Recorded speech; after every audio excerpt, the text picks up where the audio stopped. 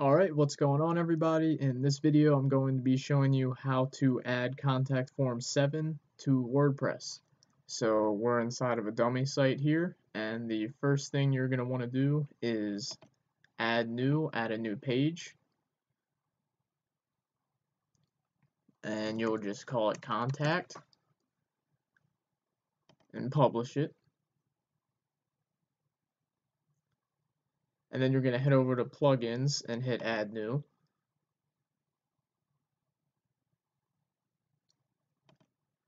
And you're going to search for contact form 7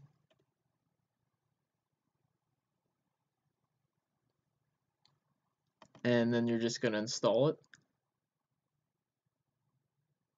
And then activate the plugin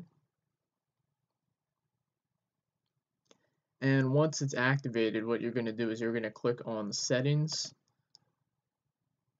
And then right here, you're going to see the short code for how you can add the form into any page. So all you have to do is click it and then copy it.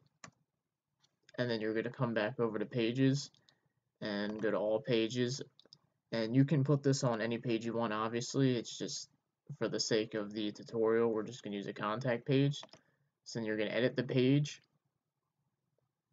and make sure you're on the text editor.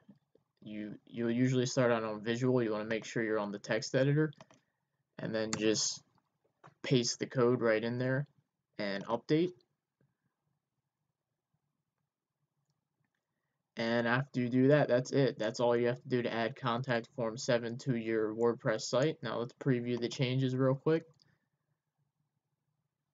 And as you can see, this contact page now has contact form 7 successfully installed. So it's that easy to set up contact form 7 on your WordPress website.